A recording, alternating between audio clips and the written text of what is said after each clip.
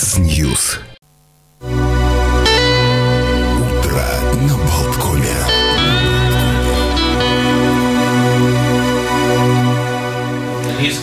Утро на Балткоме мы продолжаем. Директор компании «EUROLED» Марк Ивановский у нас в студии. Поговорим мы сегодня об освещении, о «EUROLED» лампах. Правильно ли их называть? Вообще большой вопрос. LED, LED-лампы. LED-лампы. Или светодиодные лампы. А, а, ну, LED-лампы как-то покороче, по- по- побыстрее. Обо всем об этом мы поговорим. Э, в- Ворвались они в нашу жизнь, жили мы с обычными лампочками, не тужили, потом э, что-то что изменилось. Вдруг появилось. Рево- Революция произошла, да, и все перешли на эти лампы, и уже, наверное, не знают, э, есть обычные вообще? Остались? Ну, как бы они под запретом, их запрещают. Ну, остатки продают, конечно. А Чем отличаются, почему это лучше, и э, почему надо было старое запретить, а новое вот так вот в нашу жизнь и, приж- и прижилось? Ну, как бы идет прогресс вперед. Если бы мы относились к старому, то мы бы на повозках ездили. Вы же тоже находитесь э, рядом с бывшими царскими конюшнями. Да. Напротив. Есть такое дело, да. Да. А, обычно лампочки, они как получается? Проходит ток, и он идет через нить накаливания, вольфрамовую нить. И в основном все электричество, то, что выдает, уходит в тепло. Ну, соответственно, вы видите, нап- например, на на нашем городе, на нашей стране, то, что у нас постоянно тепло. Становится теплее, теплее, теплее, теплее, аномальная жара. Мне кажется, знаете, лампочки тоже на это повлияли. Частично, но повлияли. Вот, а ледовская лампочка, э, она практически не дает тепло. Она все где-то 98-97% проводит в электричество, то бишь в свет. Получается, LED, проходит электричество, выдается э, свет, и он дальше уходит. То есть вот если у меня, например, настольная лампа нагревается, я чувствую жар Да, на руках, тепло. То значит, ледовская что-то- не будет нагреваться. Значит, что-то верно, не да. так, значит, мне нужен LED.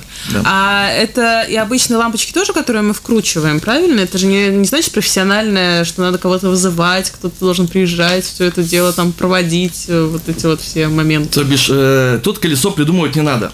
Колесо уже придумано, LED, э, сейчас идут вот эти лампы, светильники, все как, ну, например, вот есть обычная лампочка там, с большим цоколем, с цоколем Ильича таким, обычным, стандартным. Есть ледовские лампочки. Есть с маленьким там, цоколем, как свечка. Есть такие ледовские лампочки. Просто, ну, все же придумано. С ушками, там, каких только нету. Все то же самое. То есть меняется сам, сам принцип просто. Совершенно А верно. Да, вы можете светильник поменять, но смысла нету, потому что для домашних условий, знаете, легче взять эту лампочку, пойти, пойти в магазин, просто выбрать, например, посмотреть, какая у тебя запомнила, и поменять. Ну, в любой. То бишь нет такого, если раньше, знаете, раньше лет, наверное, 5-6 назад, может 7, были специальные магазины, вот типа наших, знаете, которые только их там по городу было, знаете, когда можно на пальцах пересчитать. То сейчас эти магазины больше, больше, ну, как грибы везде растут, и, соответственно, можно в любой масс-маркет зайти, как Реми, Максима, и приобрести лампочку, это без проблем. А есть ли какие-то мифы относительно цен, что они, эти лампочки стоят да, дороже, чем там, обычные Э, классические? Я сейчас скажу так, что э, цены настолько уже упали вниз, что они примерно стоят так же, как обычно лампочки. Ну, конечно, это зависит от, э, наверное, от производителя. Если мировые бренды, они чуть дороже, то э, Синьвань, какие-то бренды, Санчун, такие Ну, вот, как- они, как- да, как да, да, везде, да, да, они стоят на порядок дешевле.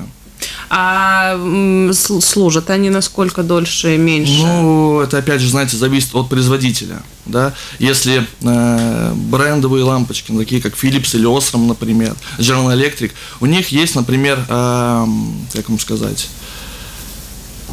э, задача или лист, по которому можно посмотреть эту лампочку, да, например, вот она будет служить, там, не знаю, 10 тысяч часов или 15 тысяч, да, или там 30 тысяч часов всякие есть лампочки, ну, это, я не знаю, там, ну, 5-6 лет. Понятно, есть лампочки, которые сделаны очень похабно, очень плохого качества, э, использованы очень дешевые э, элементы всякие, из чего эта лампочка, светильник собран.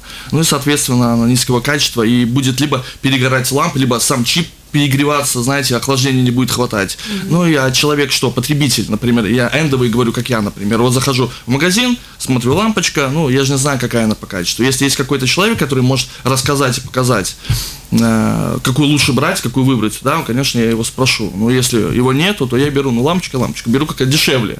Ну, вот.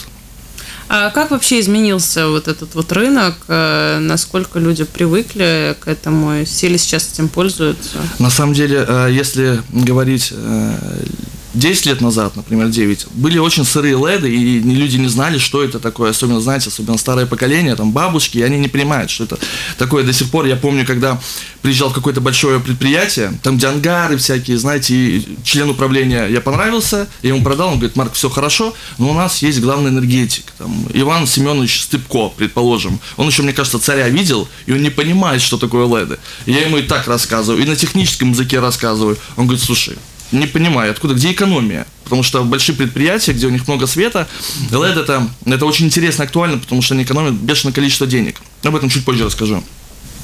И вот он не понимает, что это такое, что это вообще за LED такие. Ну, соответственно, понятно, что это вот тяжело идет, вот, вот идет, идет, идет. А сейчас, конечно, это до сих пор еще мало кто понимает, что это такое и почему это. И по старинке берут простые лампочки, потому что вы, наверное, заметили, что в магазинах не только леды продаются, но и обычные какие-то лежат, они уже лежат, знаете, как, как с, э, в свое время, когда вот телефоны мобильные были, были вот чехлы, вот лежали вот эстетично по одному, по два, потом вот скопом все вот эти вот распродажи. Также сейчас эти галогеновые лампочки обычные лежат. Вот. Ну и по старинке, конечно, их берут. Но я скажу так, например, на есть лампочки или есть помещение, например, вот как мы работаем с э, Таллинком, с группой Таллинком, э, с паромами, а, да? да? И они у меня до сих пор берут обычно галогеновые лампочки. Почему? Потому что поставить в баню. У них бани есть, у них всякие комплексы есть, где окружающая среда, легче купить э, галогеновую лампочку, она будет намного дешевле, нежели покупать ледовскую специальную. Ну, соответственно, они вот и заказывают, казалось бы. А вот, э, ну, понятно, что если мы говорим о простых покупателях, да. они приходят в магазин, так же, как, не знаю, с продуктами, с порошками, стиральными, Конечно. не знаю, они смотрят по ценам, что там дешевле, то берут. Э, вот, э, тем не менее, прогресс идет вперед.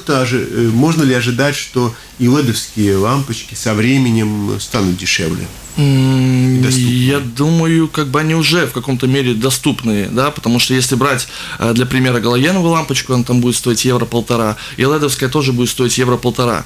Да, там уже разницы там, там, там разницы практически нету. Главное вот именно выбрать правильную, знаете, чтобы она не перегорала, потому что очень да, много... Да, вот я хотел по поводу долговечности, э, да. Да, очень много бывает, но говорю, человек не знает. Поэтому, мне кажется, вот мы до сих пор еще держимся, хотя несмотря, что есть такие, у нас есть магазины свои, то бишь у нас нет такого, что один магазин, мы проектники, вот как... То есть не сидим... только в торговых сетях, да? Нет, у нас есть свои магазины, один вот э, Пардалку около американского посольства на Калансом 148, да. а другой на, в Плявниках около Южного моста на Катлакан 13.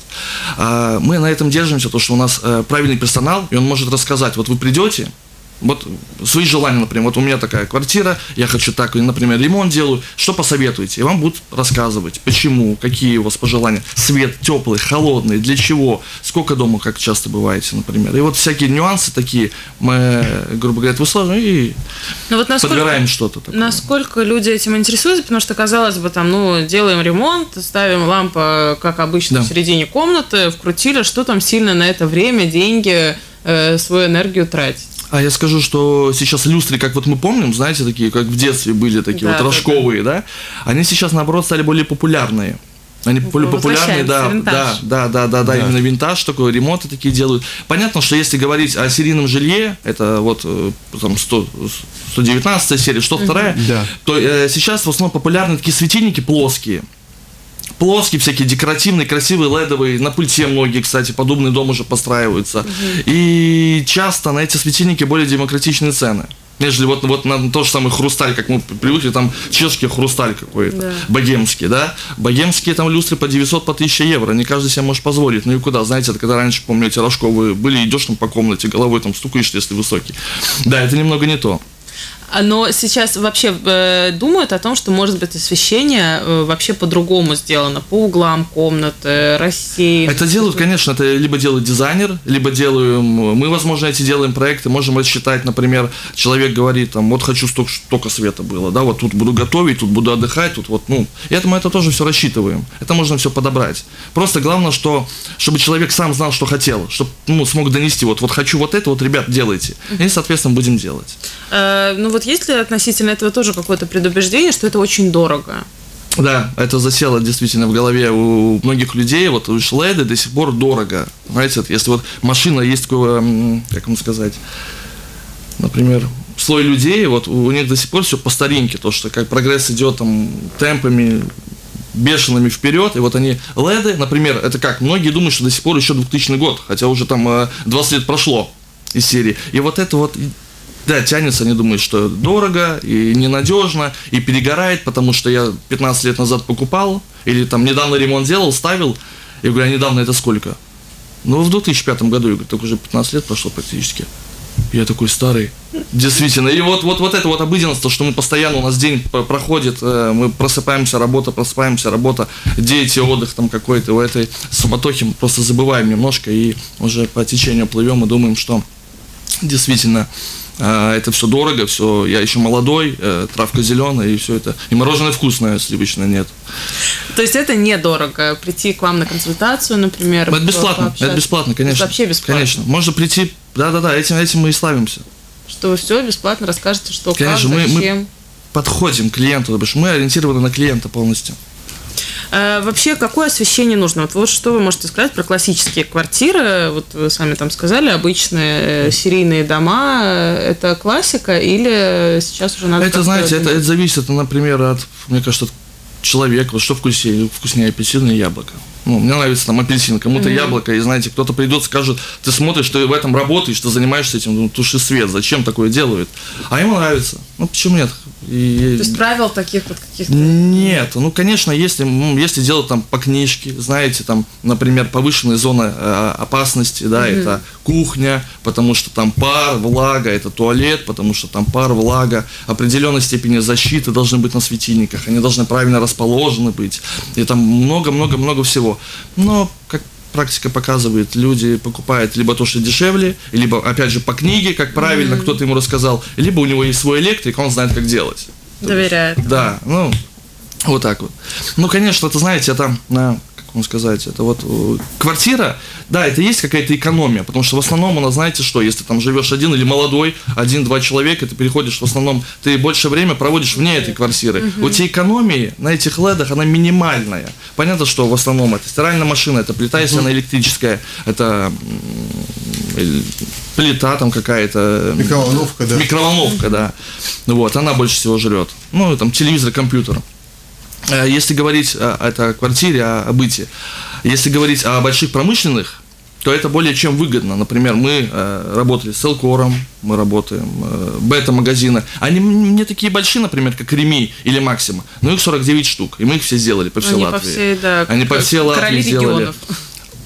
В регионах сделали. Мэнос аптека, это центр фарма, она в десятке, в десятке самых больших э, компаний в Латвии. То бишь там 200, 200, уже, мне кажется, 269 аптек, 270 аптек. Но вы для них только сами лампочки вот физически как э, инструмент привозите или продумываете все освещение? Как правильно это сделать? Как, э... Это я вам скажу так, э, по задаче. Например, если они делают полный ремонт, они говорят, слушай, Марк, вот надо сделать надо сделать красиво, потому mm-hmm. что мы сейчас делаем там вот по дизайнерски они подходят, вот э, все равно какая-то борьба аптек идет, и yeah. литовских аптек, и наш, и они говорят, слушай, надо как-то красиво сделать, надо выделяться, понятно, мы делаем.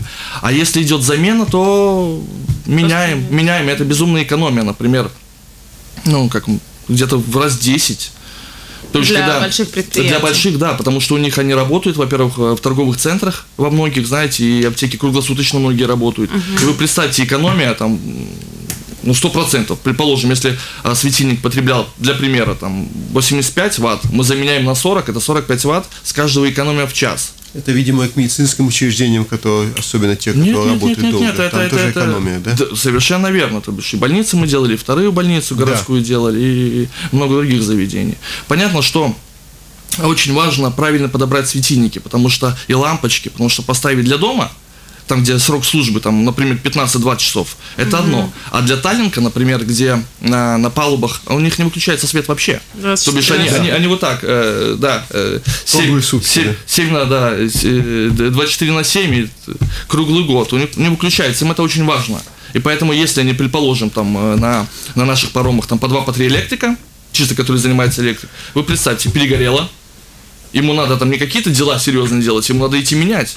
Угу. Им надо идти менять, а если не поменял, гости заходят на паром, смотрят, ну, как-то несерьезно, и, ну, Свет на самом деле много что значит. Знаете, свет солнца, ростки, все это тянется выше, выше. Он просто выше. всегда есть, поэтому, мне кажется, мы так внимание особо не задумывались об этом, да. Да вы представьте, вот не было бы, пропал бы свет. Или Вот. Есть еще такой вот специфический свет, ну, я так понимаю, многие для безопасности делают, что на движение он реагирует. Это к LED тоже относится или это другие типы Свет лампочки? на движение. Это, ну, наверное... то есть заходишь в подъезд, то есть Да, человек идет, но- тогда он включается, Да. ты проходишь, он выключается, там, не знаю, Ну, при это- въезде во двор, стоянки, да. Это тоже могут быть ледовские, это просто специальные приспособления. Конечно, это специальное приспособление, да, но все равно светит LED. LED, Грубо вот я говоря, хотел э, спросить, LED да. светит, да, можно поставить, э, даже уже дальше пошло, даже не, не обязательно особо какие там светильники. Знаете, Да. вот поставили там, где э, настраивать его, простые лампочки даже, которые реагируют на, на движение. Представьте, без каких светильников, без каких особых там, просто лампочку включили, в лампочке уже есть сенсор, и, кстати, это выпускает немецкий бренд Osram, и стоят они более доступных денег, нежели какие-то там другие.